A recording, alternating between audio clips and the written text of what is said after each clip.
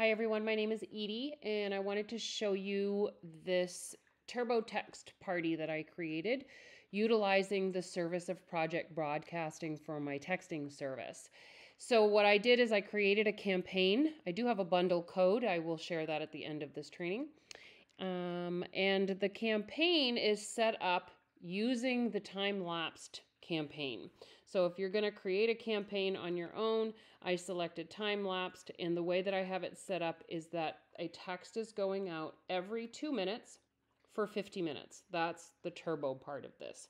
So they're going to start off, there is a one minute delay for the very first text that they get, and I'll tell you why here in a second. Um, but then two minutes after that, they will get another text, and then two minutes after that, they'll get another text, and then at the 50 minute mark, they will get their final thank you text. Okay, so it is a very quick party.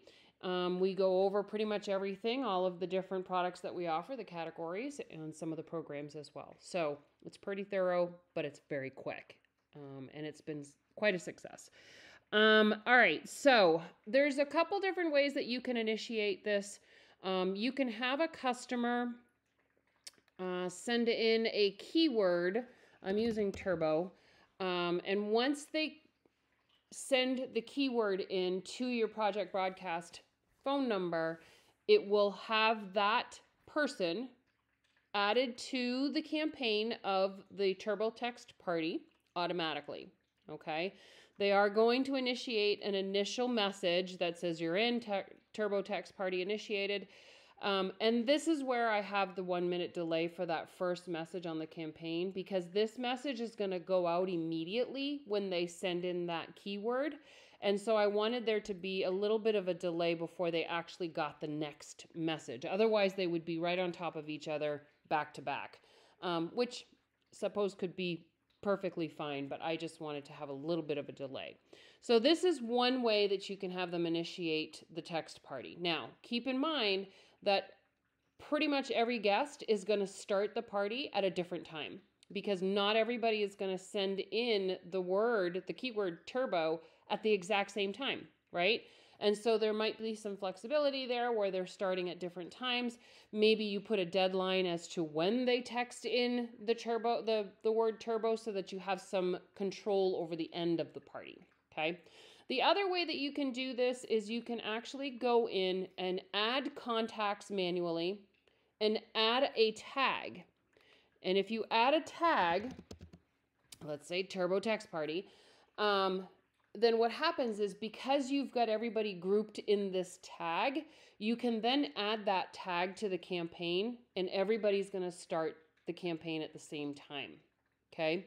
So I think that that's probably the way that works best for me is I know that everybody's in the party at the same time. It's kind of like having a Facebook event or a home party where everybody's at the same time.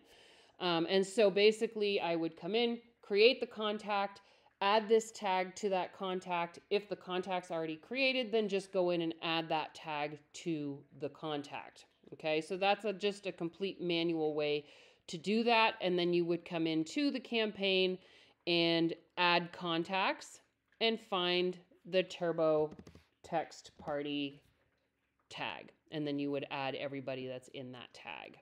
Okay.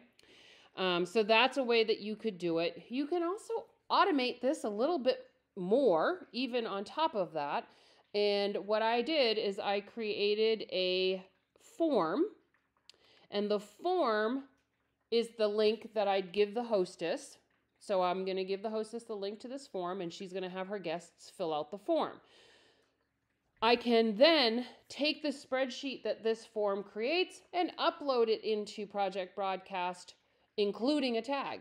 And so it'll automatically tag all of the people that are being entered through a spreadsheet. Kind of next level.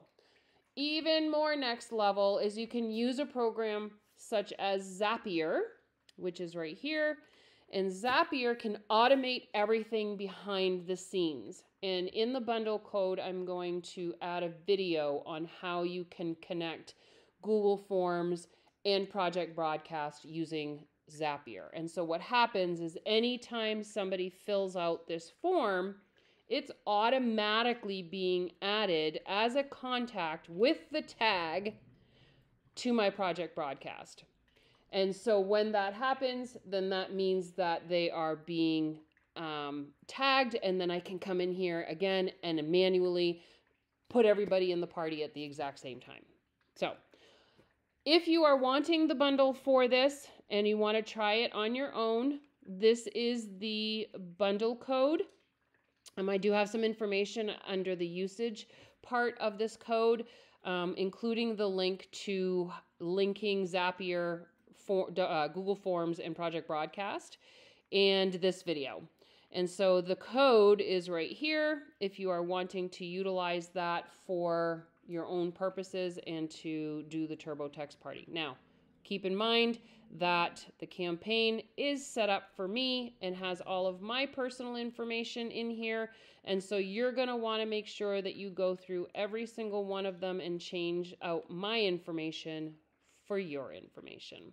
Hopefully you found this helpful. And if you have any questions, let me know.